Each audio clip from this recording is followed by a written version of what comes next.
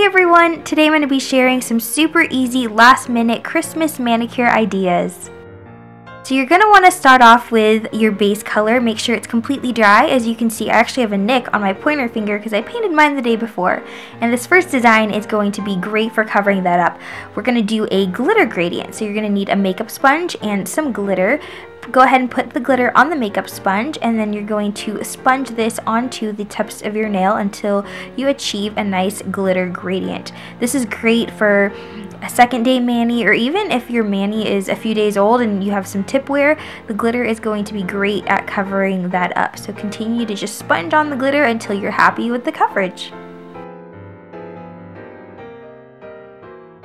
For this next design, you're going to need some scotch tape, and I just took two pieces and crossed them together to give me this triangle shape. Apply it to your nail, and this is going to give us a nice Christmas tree effect. So I went ahead and painted some green nail polish over that tape.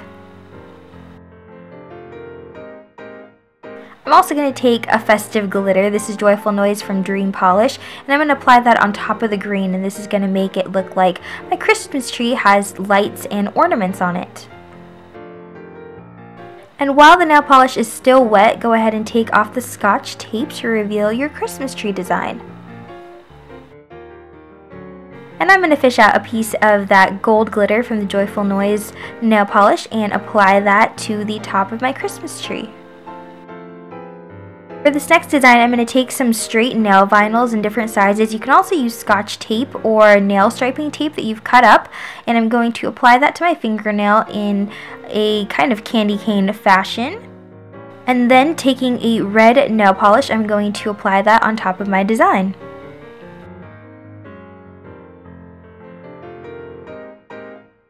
And again, while the polish is still wet, go ahead and remove the tape.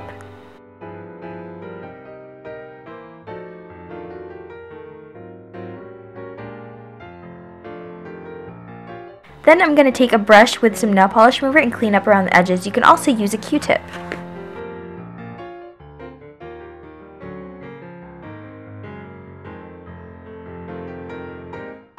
This next design is also very similar. I actually forgot to film the first part, but I took some chevron shaped nail vinyls. You can also use scotch tape cut into the same shape.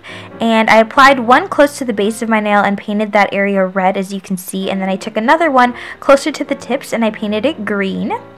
Then if you have a little mistake, you can go back with your brush and nail polish remover and clean up around the edges. And you can see I had a little green dot in the middle that I just cleaned up really quickly. And that's it. Red, white, and green. And when all else fails, you can take a festive glitter and apply it to your nails because really, there's nothing wrong with a little glitter on Christmas. And when your nails are completely dry, go ahead and top it with a shiny top coat. And that's it. I hope you guys enjoyed and found this video helpful. I hope you have a very Merry Christmas. Thank you so much for watching. Bye!